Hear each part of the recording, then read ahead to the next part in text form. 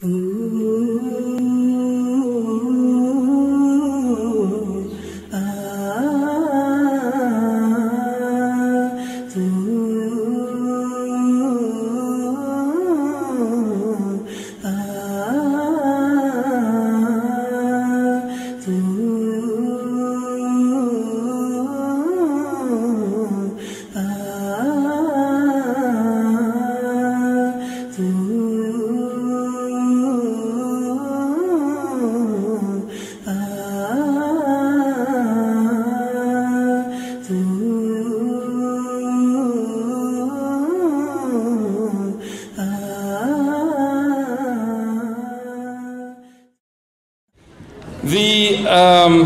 lecture is entitled Ad-Dajjal, the, and it's uh, the signs of the one of the signs of the last hour. And we would like to invite Sheikh Abu Amina Bilal Philips to the stage to conduct the last lecture of the evening before we round off this peace conference in Oslo, Norway.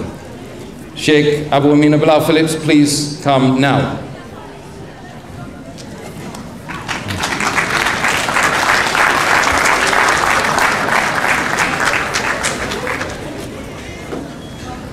الحمد لله رب العالمين والصلاة والسلام على رسول الكريم وعلى آله وأصحابه ومن استنى بسنته إلى يوم الدين All praise is due to Allah and may Allah's peace and blessings be on the last Prophet Muhammad sallallahu alayhi wasallam and on all those who follow the path of righteousness until the last day.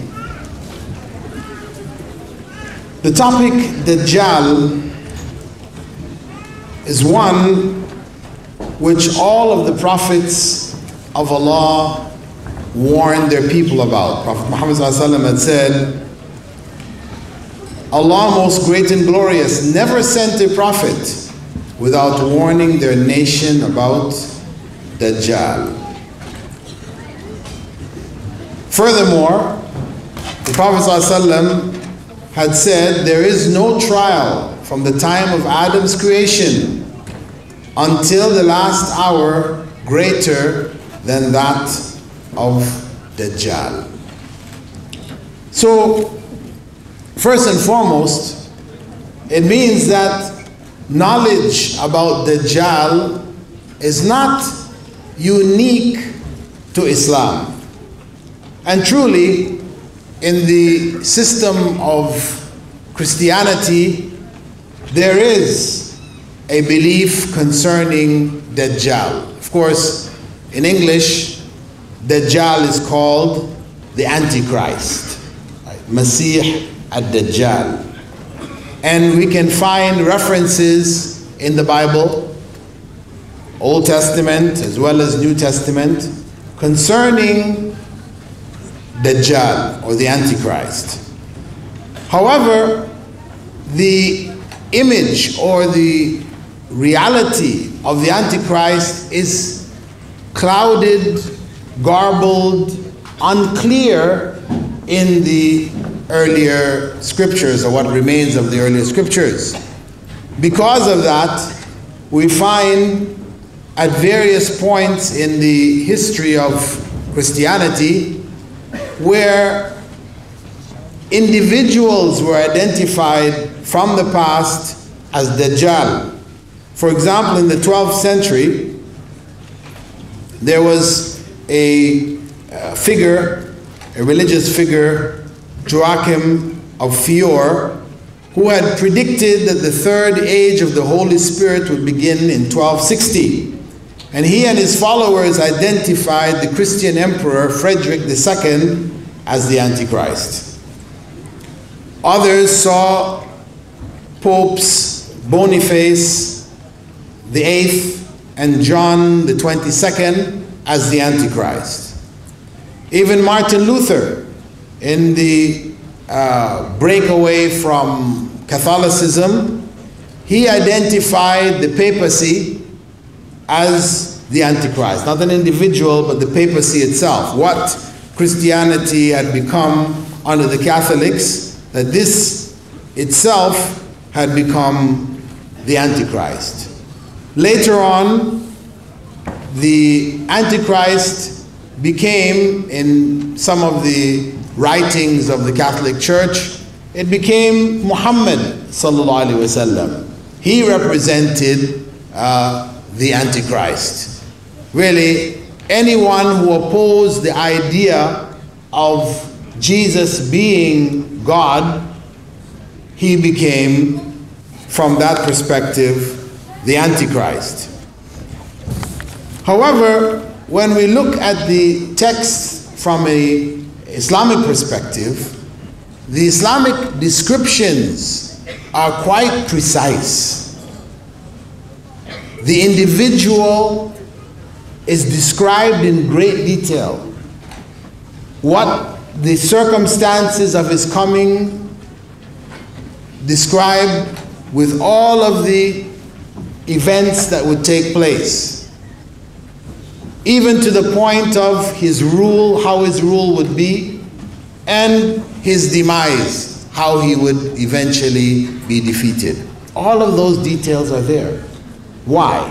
Why? Because knowledge about him is critical. That's why all of the prophets, may God's peace and blessing be upon him, upon them, all spoke about a Dajjal. But like the rest of their messages, the messages became changed. They were corrupted. Interpolations, changes occurred which left the messages unclear. Since Prophet Muhammad was to be the last of the prophets, the Quran, the final revelation, was preserved like none of the earlier books were preserved. Furthermore, information about the Dajjal was also preserved. It was given in detail and preserved the way that none of the earlier prophets had their sayings, their hadiths, their uh, teachings and prophecies preserved. That's why we have the whole science of hadith there to preserve, to know what the Prophet ﷺ taught us. Such a science didn't develop in the earlier generations. So, it is not surprising to find great details there about Dajjal. And the only complete picture here in the teachings of Islam. The ramblings of Nostradamus, which uh, led people to make movies and include the concept of the Antichrist, or other similar writings of Christian sources or Jewish sources, cannot compare with the vivid details found in Islamic teachings. As such, Prophet Muhammad had warned us that the Dajjal would not appear among people until they forgot about him. Until the Imams would stop mentioning him on the pulpits, in the masjids. Meaning, if we stop and think, when was the last time the Imam in the masjid in khutbah of Jummah, for example, spoke about Dajjal? I think we'd be hard pressed to remember when that last time was. It means that's the indicator that the time is getting close. What is close? Allah knows best. How close? Allah knows best. But no doubt, as the Prophet ﷺ had said, لا تقوم الساعة حتى يبعث دجالون كذابون قريب من ثلاثين كلهم يزعم أنه رسول الله. before the final hour would come, we would have at least 30 Dajjals, all appearing claiming that each one was a messenger of Allah. And we know, we have them, we can list them. We have Ghulam, Mirza Ghulam, right? From uh, Ahmed, right? From India, Pakistan, who created his own religion, claiming that he was a messenger of Allah. We have uh, Ali Shirazi in Iran, claiming he is a messenger of Allah. So we have the Baha'is. We had in America, not to be outdone, we had Elijah Muhammad, who claimed he was a messenger of Allah, died in 1975, only to find in 1989 an Egyptian American, Rashad Khalifa, claiming he was a messenger of Allah. So if we start to add up those that have been claiming, the number 30 is quite close. We had an individual, Mahmoud Taha, in the Sudan in the 80s. He also claimed he was a messenger of Allah. When the government shifted over to Islamic government, they executed him.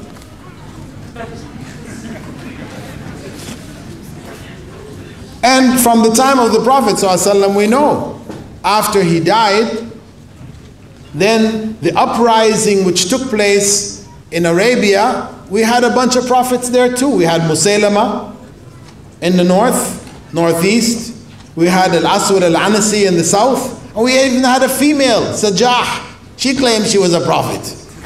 You know? So the number 30, I'm sure we have reached that number or very close to it. Maybe it's only 29 or 28, something like this. We've had them. And the Prophet ﷺ had warned us as we said, that when we no longer hear Dajjal spoken about on the mimbars in the khutbah of Jum'ah, know that the time is near.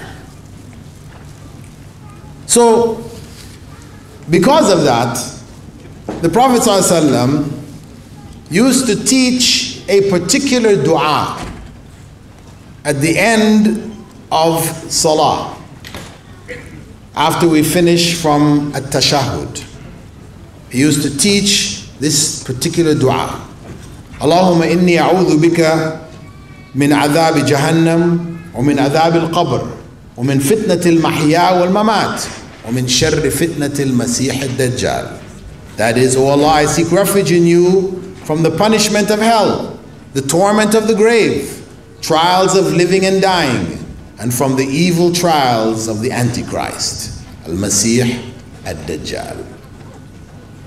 And according to the Sahaba who narrated this particular dua, they said that the Prophet ﷺ used to teach them this dua the way he used to teach a surah or a chapter from the Quran.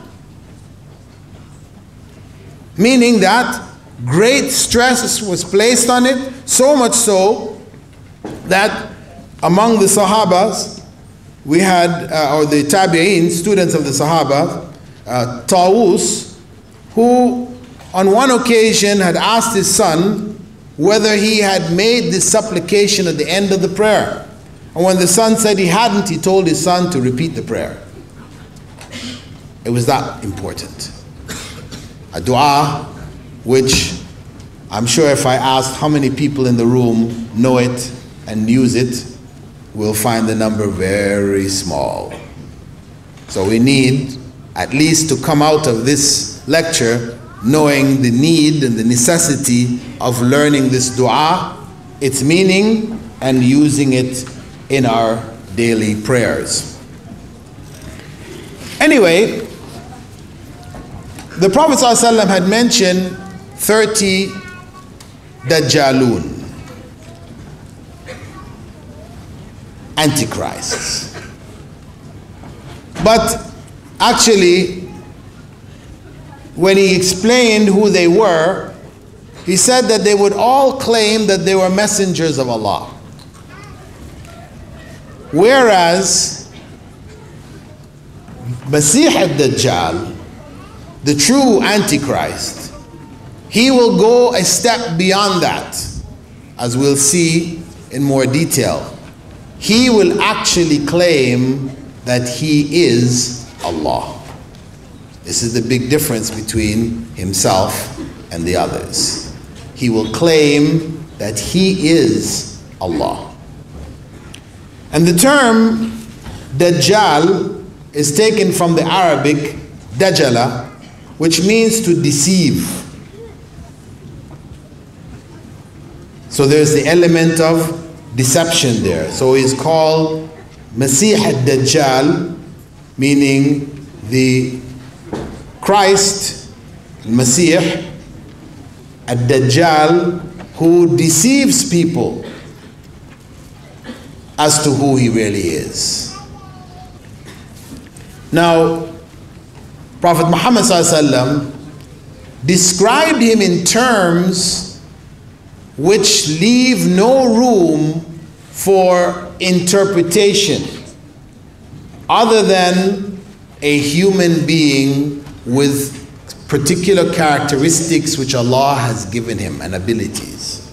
Because some people, when you read some of the writings, they say that uh, Masih al-Dajjal, actually, he is the television.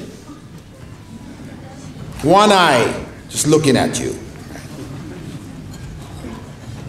Or they say it's really Freemasonry. You know, the symbol of Freemasonry again is that eye, right? On the pyramid, like in the American dollar. And there are no, uh, no end of interpretations people have made concerning Masih al-Dajjal. However, the Prophet ﷺ described him as being blind in the right eye. And that right eye will move around in the socket like it's floating in the socket like a grape, not in a fixed position, moving around continually. And his left eye will also be defective, having a thick film which would be like green glass. And that eye will also be, the left eye will be blood, uh, will be bulging out of the socket. But he will have a right eye and a left eye. So it's not the television. Secondly, the Prophet ﷺ said his complexion would be ruddy white. Ruddy white meaning that he is very white with a tinge of redness in the whiteness of his color of his skin. They call that ruddy white. There's white without that redness. Well, the redness is there. This is uh, one of the descriptions. Again, how does the television become ruddy white? It doesn't work. Then he also described him as having a prominent forehead, prominent forehead, a big forehead, and a wide neck, right? His neck would be wide. Something like um,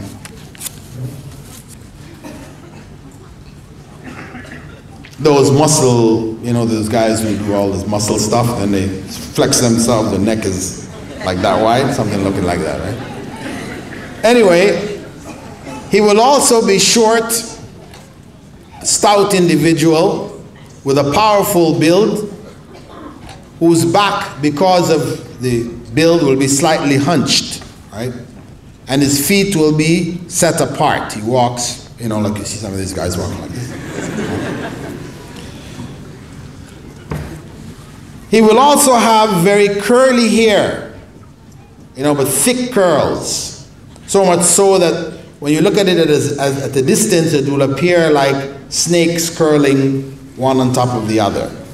Again, we have a hard time getting a television to look like this. Furthermore, the Prophet ﷺ said that he looked most like a particular individual named Abdul Uzza ibn Qatan, who was from the Mustalaq clan of the Khuza'a tribe who had died in pre Islamic times. So it looked like a particular individual. So just rule out all of those interpretations that are trying to make him a system or technology or these kinds of things. This is, we're talking about an actual individual. Now, those who say, no, it doesn't really mean that, they say, well, because the Prophet ﷺ had said that disbelief, kufr, or kafir, will be written between his eyes on his forehead, right? Which will be recognized, recognizable by both the literate and illiterate believers. Okay, how's that? Believers will be able to spot it and read it, understand it, know this is him, but the disbelievers won't be able to. So this is sounding like something symbolic. However, if the Prophet ﷺ informed it that way, and everything else that he's describing has a reality to it, then we just have to say we don't know exactly how that's going to be, but as the Prophet ﷺ said it, the believers will be able to see it, and they will be able to know it. And it's real. Now, the trial of Masih ad-Dajjal is particularly severe. As we said, the Prophet ﷺ had said that there would not be, from the time of the creation of Adam, a greater trial than the time of Masih ad-Dajjal. We could say, well, okay, we all know anybody who claims to be God, we know he's not real. He's not true. So how could that be a trial for people at that time, especially for Muslims? Well, the reality is that Masih ad-Dajjal is not going to just appear when everything is okay, life is moving along, not bad. You know, you have some hot spots, problems here and there, but life is generally okay. No, he will be coming at a time of trial. Prophet had said that he wouldn't appear until after three years in which, in the first year of those three years, Allah would hold back one third of the rain and one third of the crops. The beginning of starvation and famine. In the second year, it will be two thirds. Two thirds of the rain will be held back, will not come down. Two thirds of what was normally coming down on the earth will stop. And similarly, what is growing up from the earth. And in the third year, it stops completely. No rain, nothing growing. And this is the time when Masih ad-Dajjal will appear. And this is what makes the trial so great. Because when he comes, he will have with him a mountain of bread and meat. He will have with him a mountain of bread and meat. Now, when you're in a state of starvation, then this is something that's going to put you to the biggest test that you've ever faced. You want to eat of that mountain? Then you must believe in Him. How? Believe that He is Allah. So, we're not talking about an easy test here. We're talking about something extremely severe. Because he will call people, as he moves about the earth, he will call people to accept himself as God. Those who do so, he will command the skies to rain in their area, and the rain will fall. And the land will grow trees, fruit trees, fully in bloom. I mean, when we think about faith right now, we know who God is and everything else, but when that circumstance arises, where somebody calls to the sky to rain, and you see this, this is beyond David Copperfield, right? He calls the sky to rain, and it rains before your very eyes. And the land which was barren, the trees grow up, and there's fruit on those trees. Who can hold themselves back at that point? Furthermore, those people who refuse to believe in him, they will find all of their properties lost. All the wealth that they had stored up, gone. And he will have with him two rivers. One like liquid fire or lava, and the other one, white, cool waters. One, which represents his paradise, and the other one representing his hell. The treasures of the earth, as he moves about the earth, will come out at his command and follow him like a swarm of bees. When people seeing this with their eyes, their own eyes, a man walks and he commands the treasures of the earth, the earth to open up, and its treasures come out and start following him. Where will we be? What will be the status of our faith at that point? And he will enter all of the cities of the earth, with the exception of two cities. Mecca and Al Medina. But what will happen is that he will go to the outskirts of Al Medina and he will stop there. And then three earthquakes will hit the city, shaking it. And following that, the disbelievers and the hypocrites will leave Medina and join him. disbelievers and hypocrites. We all know that the people of Medina are all supposed to be Muslims. So, where are the disbelievers coming from? Obviously, there are people who are Muslims in name. They will come out. Those who are pretending to be Muslims, the hypocrites, they will come out. So this is a trial which we can hardly imagine. Furthermore, just to notch things up to the highest point you can imagine, he will approach certain people, among them Bedouins, and he will ask them, If I were to resurrect your parents, would you testify that I am your Lord? If this man comes to you, your parents are dead, and he says, If I were to bring to life your parents, and you could see them with your own eyes, would you believe that he is your Lord?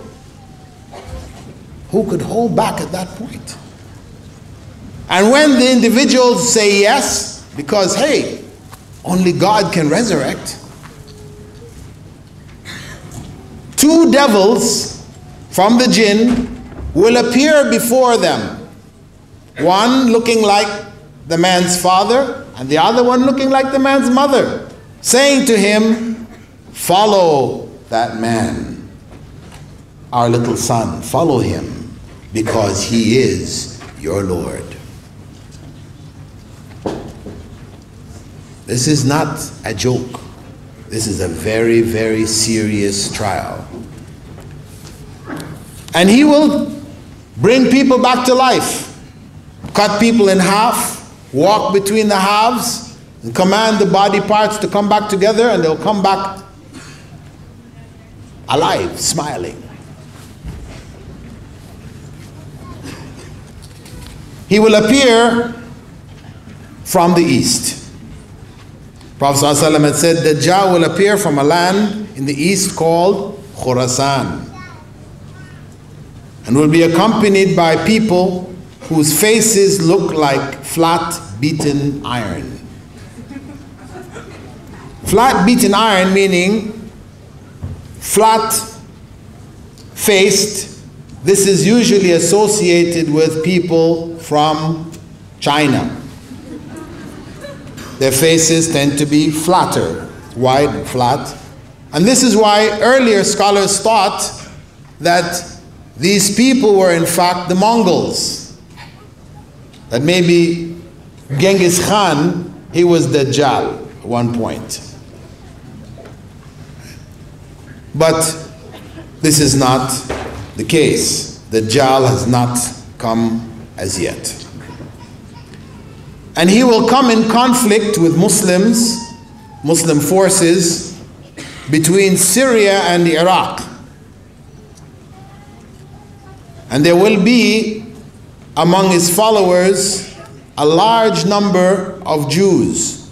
Jews who are still waiting for the Christ to come, who rejected Prophet Jesus salam, when he came.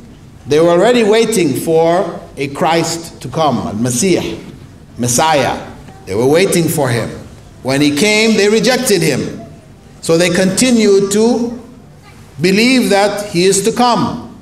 There was one individual uh, at the turn of the century in Turkey who claimed that he was from among the Jewish community, that he was the uh, Messiah. And a lot of people believed in him when the uh, Turkish Sultan had him arrested and brought to him, and Islam was explained to him, he accepted Islam.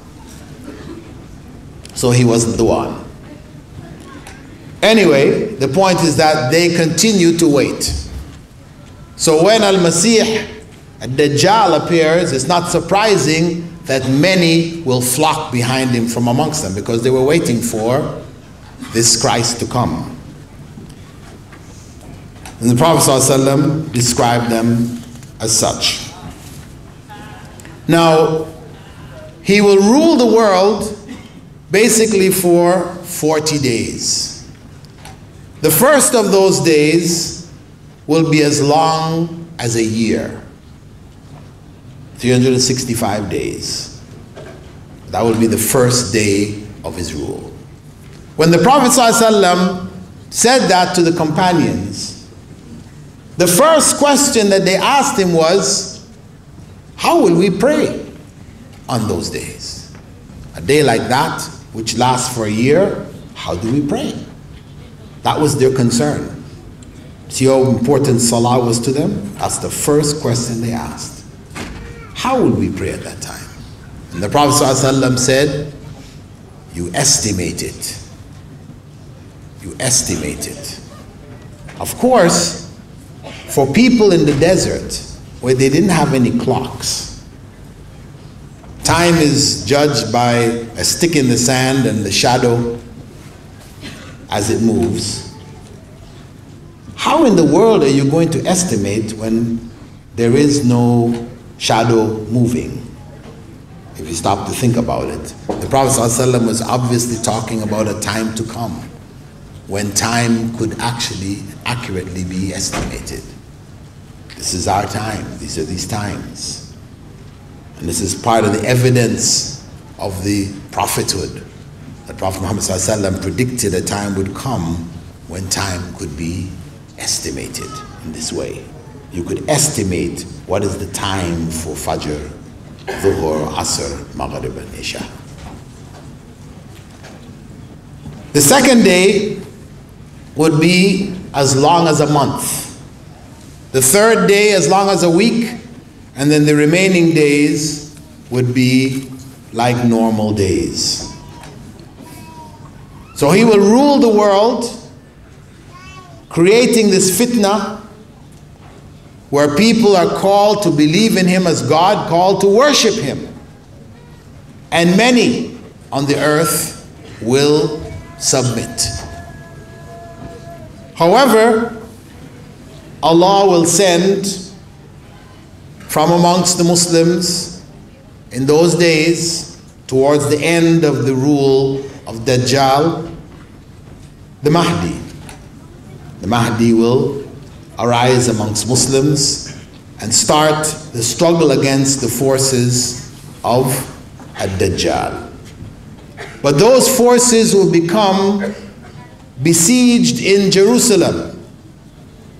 And when Ad Dajjal, with his forces now, are ready to wipe them out, finish them off, then Allah will send Prophet Isa. Salam. Jesus will return in his second coming. And he will come in the region of Damascus, and from there he will go to Jerusalem. And this is when he comes at Fajr to the masjid there, identified as Masjid al Aqsa.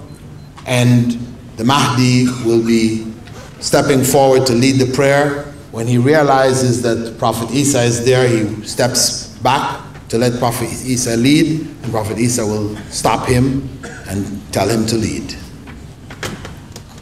Confirming that it's not a new revelation being brought, it's the same revelation, and the uh, religion is the religion of Islam. Then the uh, gates of Jerusalem will be thrown open, and when a Dajjal spots Jesus coming out with his forces, he begins, as the Prophet described, he begins to melt and he tries to run. Prophet Jesus will chase him, go after him, and kill him with a spear, then lift up the spear to show the people the blood on the spear, confirming that the Dajjal is killed. And that will be the end of the trial of a Dajjal. And The Prophet ﷺ had given us general guidelines as to how we prepare ourselves for that time. Of course, the first guideline is that one must be a firm believer in Islam. The example which he gave was that among the people who will be cut in half and rejoined will be a young man who after he has been cut in half and rejoined, and Dajjal calls him to believe and to worship him, that young man will say, I know that you are the false Christ. Your cutting me in half confirms that you are, in fact, the false Christ. And Dajjal will grab him by his neck, try to cut his head off, he will be unable to do so. So he grabs him by the feet and the neck and throws him into that river of fire, molten lava. And people will see him fall in and be burnt up, dissolve. And it will appear that Dajjal has won, defeated him. But the Prophet ﷺ clarified that what he went into was the path to paradise. He went on into paradise. And he called him the greatest mar- martyr in the sight of the Lord of all the worlds. That individual will be firm on his faith. So, what's going to hold him is knowing Islam, practicing Islam seriously, to be seriously committed to Islam. Because that's what's going to save us from the situation like what happens to those people in Medina and why it is that they would come out when the earthquake hits the, the, the city because their faith was fake or, or, or weak, so weak that it just dissolved when a major trial hit them. So our defense against that is to be serious Muslims. And not serious Muslims when we hear Dajjal is here. You know? That's not the time. They'll say, okay, I'll wait. Okay, as soon as I hear he's going to be here, then I'll get down and be a real serious Muslim. It doesn't work like that. This is something that we have to decide to be now. We have to be real Muslims now. Most of us have been living the lives of what we would call counterfeit Muslims. Some people are called Friday Muslims, meaning they only come to the masjid on Friday. They never pray in the other days of the week. Or they're called Ramadan Muslims. We only see them in Ramadan. They come on out in Ramadan, they're praying Taraweeh, everything, reading Quran. But as soon as Eid comes, everything is packed and put away. They enjoy Eid, and then we don't see them again till next Ramadan. We call them Ramadan Muslims. So we have another kind of Muslim which never existed in the earlier times. Friday Muslims, Ramadan Muslims. These are fake Muslims. There's no such Muslim. Prophet ﷺ had said, العهد الذي بيننا وبينهم الصلاة ومن تركه فقد كفر. The distinctions between us and the disbelievers is salah. Whoever abandons the prayer, salah, has become a disbeliever. That is a clear statement. Some people philosophize. Does it mean a real disbeliever or, you know? Hey, the Prophet ﷺ said he abandons the prayer, he's become a disbeliever. End of story. There's no room to interpret and justify. No, no. That's it. And it's real, it's real. I mean, because Islam is not just saying that one is a Muslim. It's on the birth certificate, religion, Islam. This is not what makes a Muslim. My parents were Muslims. They were good Muslims, in fact. I'm Ahmed, or I'm Fatima. I'm a Muslim too.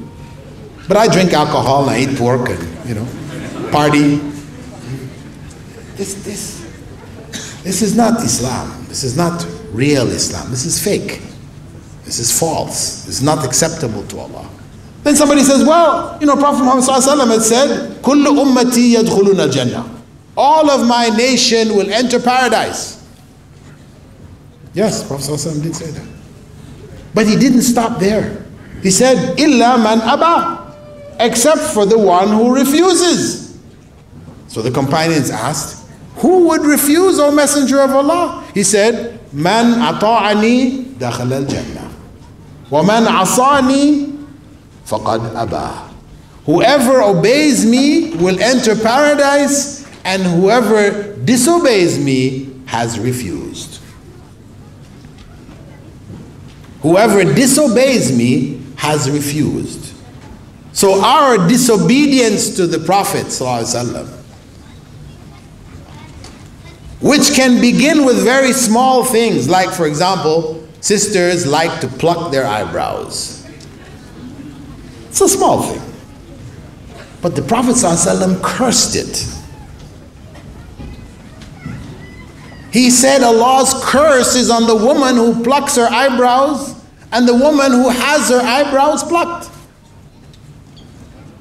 So when we go and pluck our eyebrows, we are disobeying the Prophet of Allah.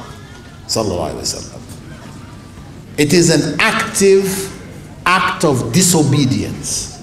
And that, people say, well, you mean to say I'm going to go to hell just because I pluck my eyebrows? It is a sign. It is a sign. Because when we make sins which the Prophet has clearly defined for us as sins, when we make them minor, we say they're little sins. No, we shouldn't have to go to hell for that. The Prophet ﷺ had said, "Iyakum wa muhaqqarat al Beware of the scorned sins, these little ones. Because he said they're like sticks in a valley. A people settle in that valley and they go out to look for sticks to make fire to cook their bread. So when they gather up all the little sticks, they make a huge bonfire. So that's what happens with these scorn sins.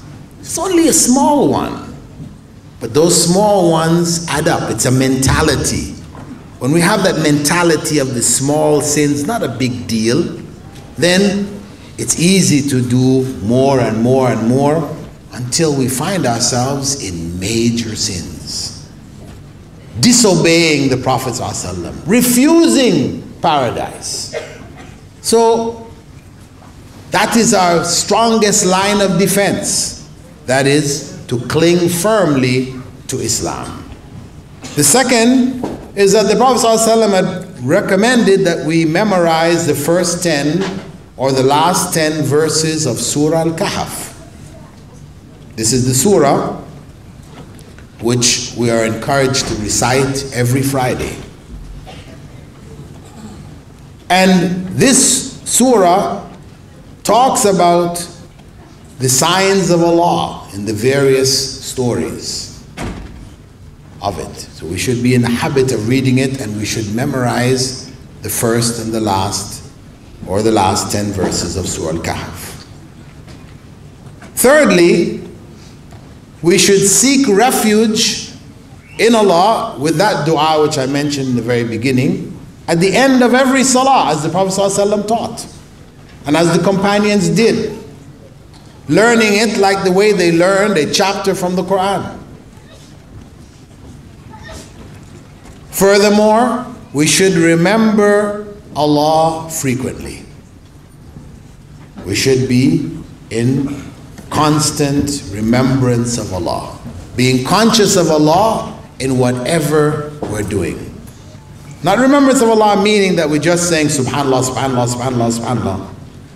Because, you know, that's easy. It's so easy that we say it and don't even know what we're saying. So subhanallah becomes spanla. Right? Subhanallah becomes spanla. Alhamdulillah becomes hamdla. Allahu Akbar becomes lakbar. So we have to say 33 times after every prayer, Subhanallah, Alhamdulillah, Allahu Akbar.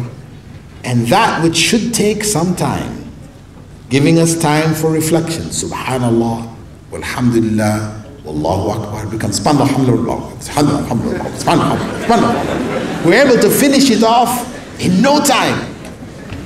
So much so that I remember some people accepting Islam coming with me to the masjid.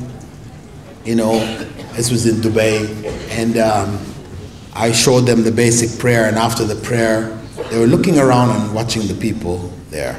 And then they asked me afterwards. You know, I said, after the prayer, all the people, their hands start to shake. what is this thing? You know. Of course, what's happening, right, is people counting at the speed of light, right? So I had to explain to them that really, you know, the intention was supposed to be subhanallah, reflecting on the glory of Allah, alhamdulillah, being grateful for what Allah has given us, Allahu Akbar, recognizing Allah's greatness in everything in our lives. That this is what was supposed to be said and reflected upon. But unfortunately, it became a blind ritual.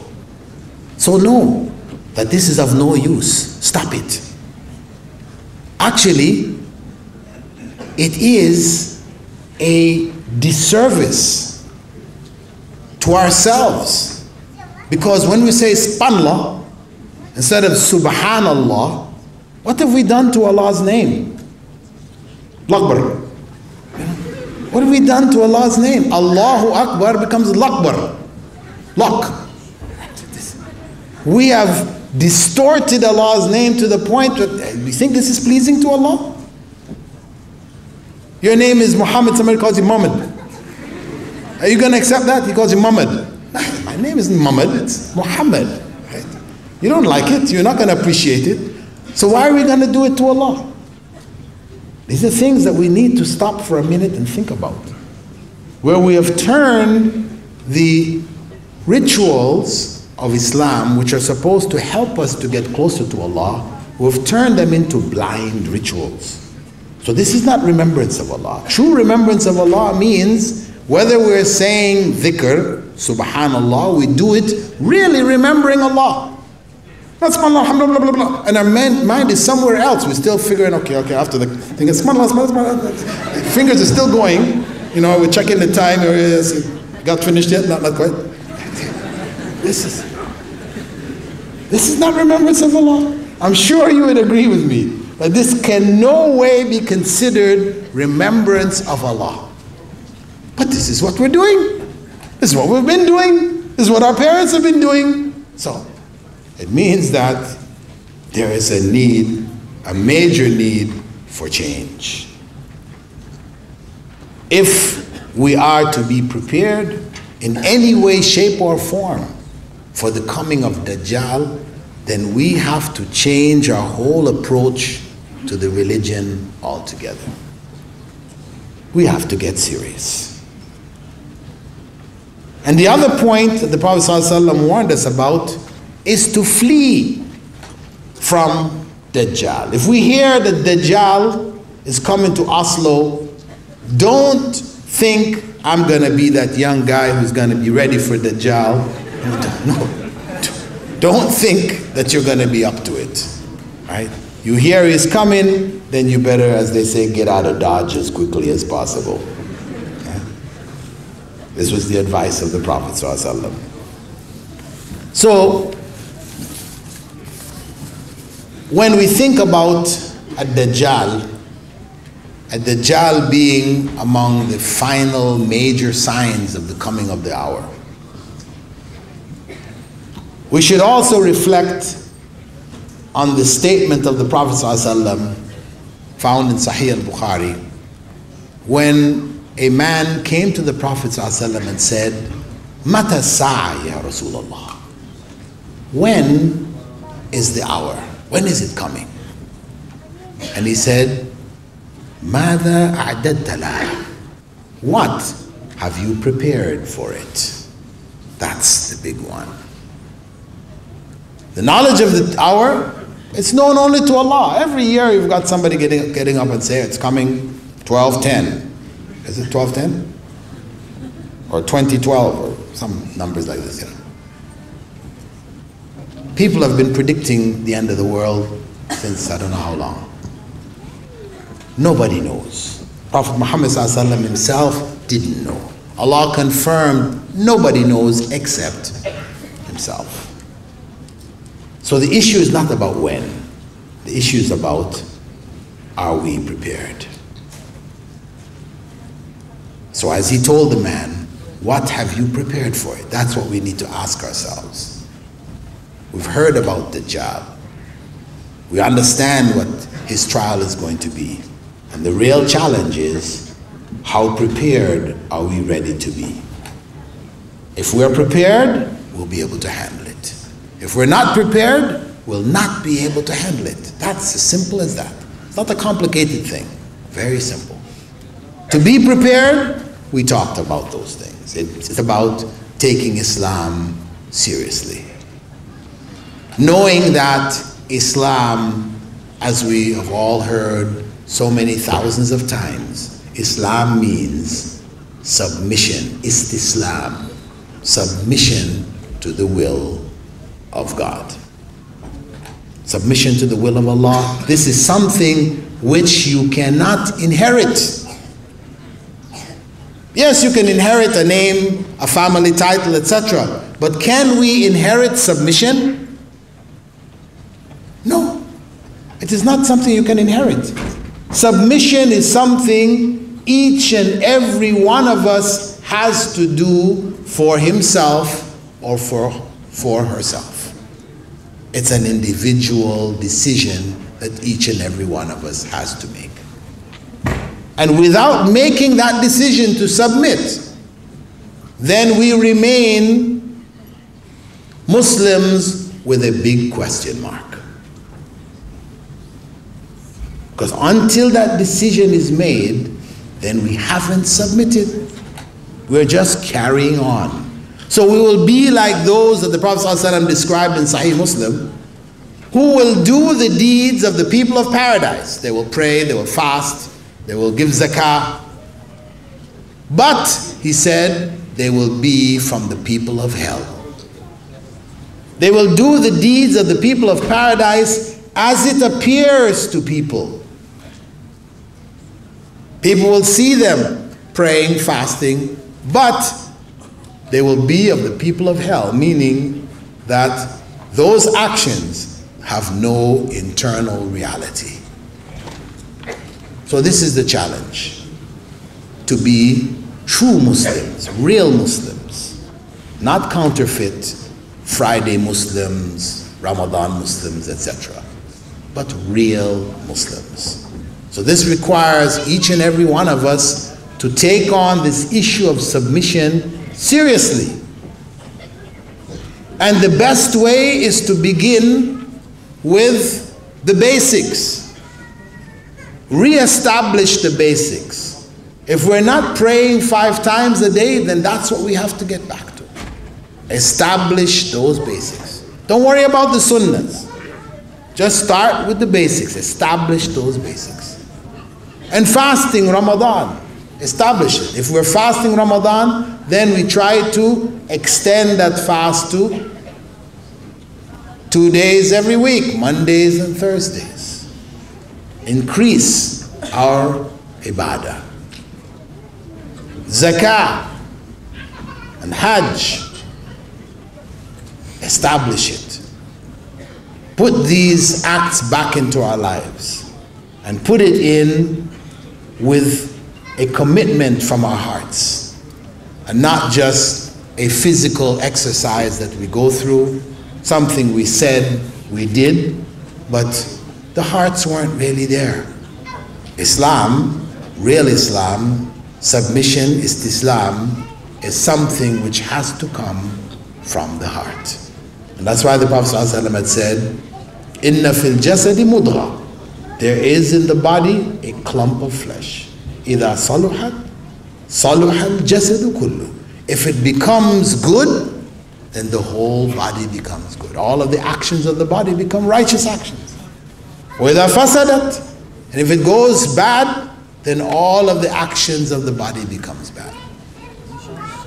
Allah وهي القلب. It is none other than the heart. So this is what we have to start working on to become serious Muslims, to be able to meet the challenge of Dajjal when and if we meet it in this world. Barakallahu fikum. Assalamu alaikum wa rahmatullahi wa barakatuh.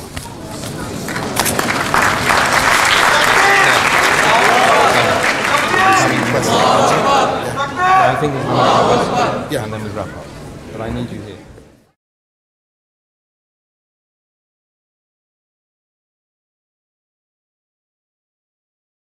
Does anyone want to pose a few questions? I mean, that literally it's a few questions, really, a couple of choice questions, maybe. Let's say one from the brothers, one from the sisters. Yeah?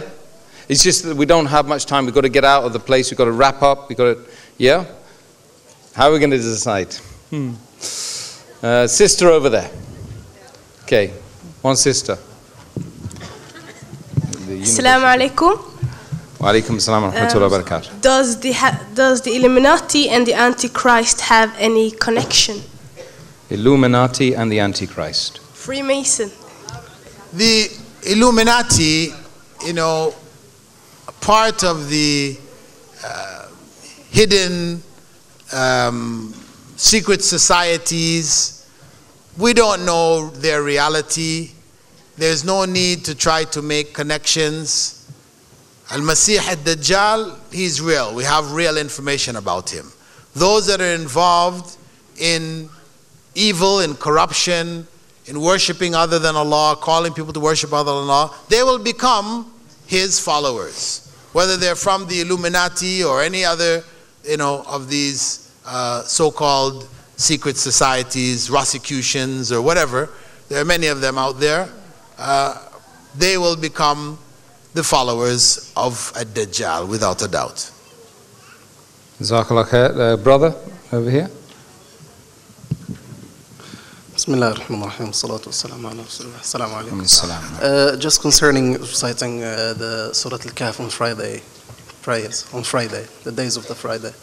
Because I, I've heard from one of the critics of Hadith, Sheikh Abu Ishaq, maybe you know him, Sheikh Abu Ishaq Hawaini he, he commented about this hadith and he said, you know, all the hadith concerning, you know, reciting Surah Al-Kahf on Fridays is weak and there is no authentic hadith. But it's rather, you know, goes for the whole week.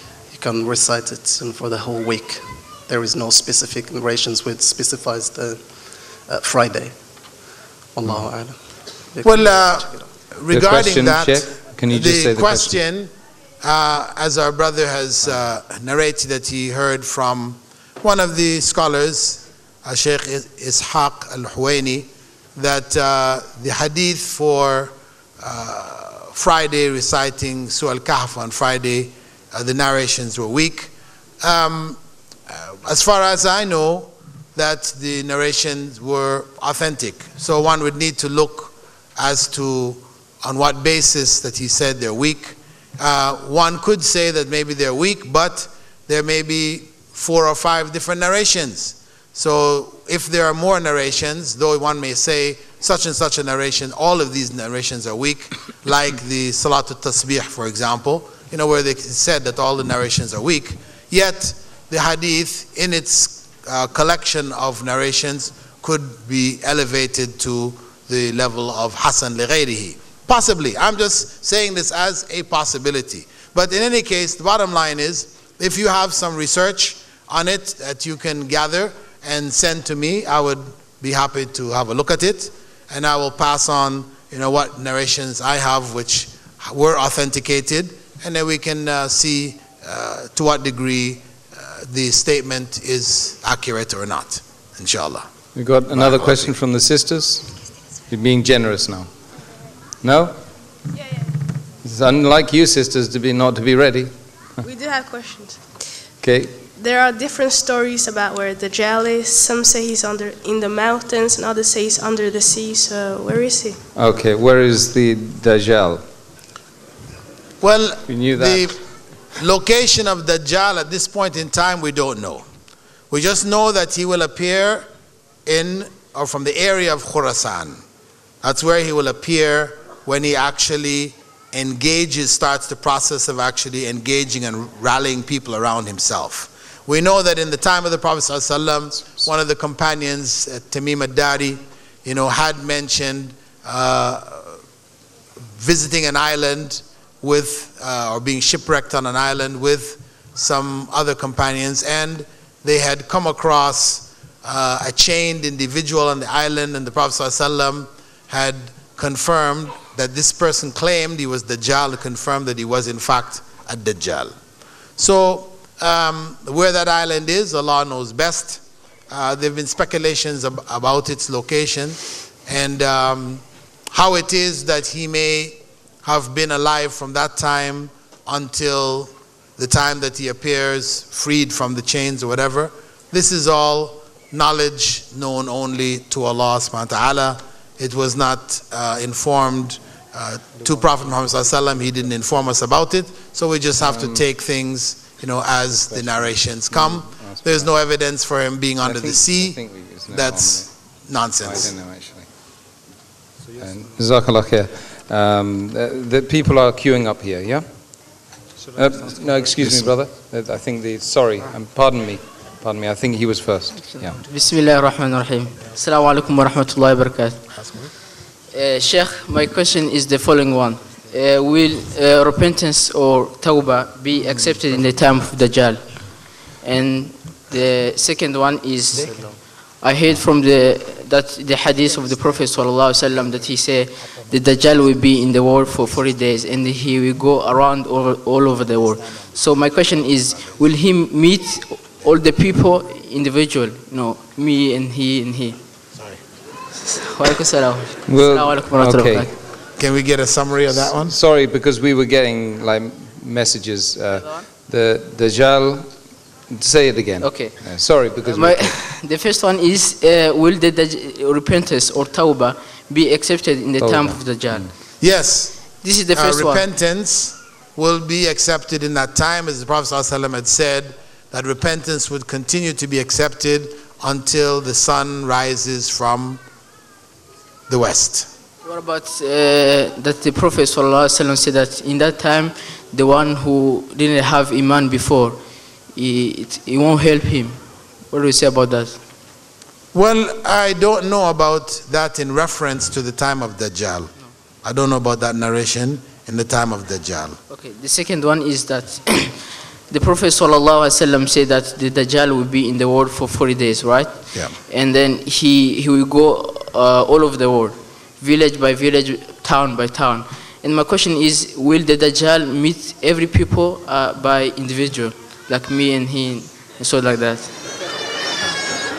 Not me, I Well, don't you see, again, I mean, you're seeking details which nobody can answer. We don't know. You know, the Prophet ﷺ said that he would uh, enter every town. Whether he meets every individual in the town or not, that's neither here nor there. What I want, uh, can somebody hide from him? From him? As the Prophet ﷺ had said, if you hear that he's coming, get out, flee. Allahu Akbar. That's enough. Okay, sisters. One more, a sister over here. Really, we're very short of time. So make it very quick so we can get a few more questions in. Bismillah. You said that when you get thrown in the river of hell with the jail that so the question is does it hurt? Does it hurt? No pain, no gain. Next question. Assalamu alaikum wa rahmatullah. Um, salam. Um, oh, um, you said something about Khurasan. Um, is that area near Afghanistan? Whereabouts is it? Yes, Uh, is that it's the area.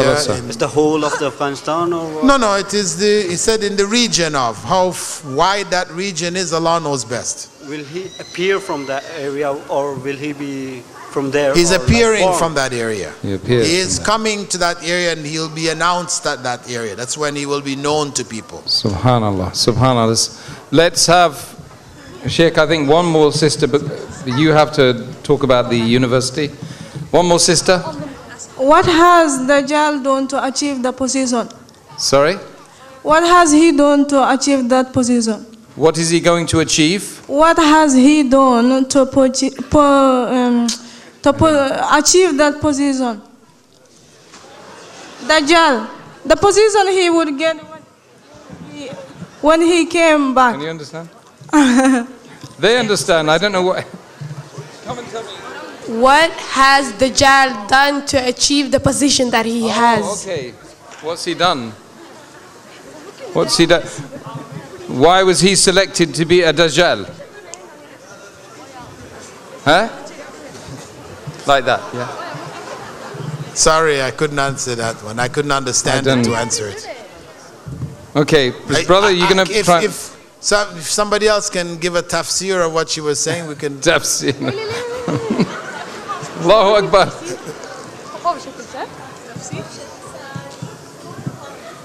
No.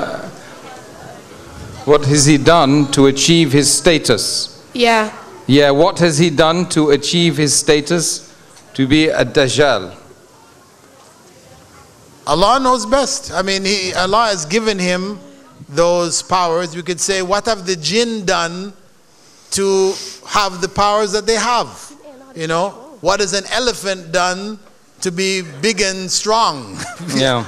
Allah gave them that power. You know, this is, we don't have to get into what they do to get it, right? Okay, brother, just one last question. I'm sorry, we've got to wrap up because we've got to wrap up the whole evening and award some things. Fadl. Assalamu alaikum. Alaykum salam. Uh, Sheikh, I have a question regarding the uh, Khurasan. That there is another hadith regarding uh, when uh, the Mahdi alayhi salam will start against the Dajjal from Medina, so there will be another army from Khurasan who will also fight the Dajjal from there until they reach in, to Palestine. So, do you have any further more information, or if you can confirm it? I don't have any further information on that. Okay. Jazakallah khair. Jazakallah khair. Very short. Just uh, what can we say to our friends who who doesn't believe uh, there is no su- such thing called the day of uh, judgment. They say, me, when I die, then I'm finished. You can burn me or can you throw me in the sea? What are you asking? Saying we have some uh, friends uh, who doesn't believe that there is a thing called day of judgment. You mean non-Muslim or yet, Yeah, of yet to course. be Muslim? Yes. Yet to be Muslims So don't believe in you're the day of asking judgment. what can you say to them? Yeah. Lakum dinakum Well, you know, the logic, you know, the logical arguments for the day of judgment involve accepting or accepting the idea that for this life to make sense, where people do good and seemingly have difficult lives, etc. Some people may do evil and have good lives. If, if that's all there is, there is nothing beyond this, no accounting, then why be good? Why not just go for it, kill whoever you can, steal, just, you mm. know? I mean, that way of thinking is the way of thinking of the animals. And that's what distinguishes us from the animals. The animals, you know, in the jungle, they just go for it. You're a lion, you're the biggest, the toughest, then you kill everybody else and enjoy, right? That's the life of the animals. So if that's how you see yourself, then mashallah, you know, you know. When you meet. Allah, then you know you'll know the reality then. But if if you have any kind of reflection on, you know, uh, justice or uh, the concept of life having any meaning, then it doesn't make sense that there wouldn't be a judgment. It's logical and reasonable that there is one. Jazakallah khair. Sheikh Abu Amin Bilal Philips for the enlightening talk and the question and answer session. Ooh.